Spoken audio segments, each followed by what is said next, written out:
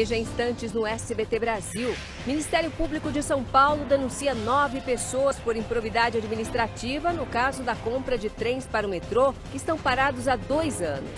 Governo aumenta a faixa de renda familiar para acesso ao financiamento estudantil.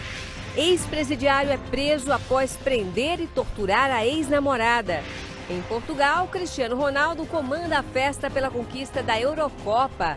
Muito obrigado a todos. Eu espero você.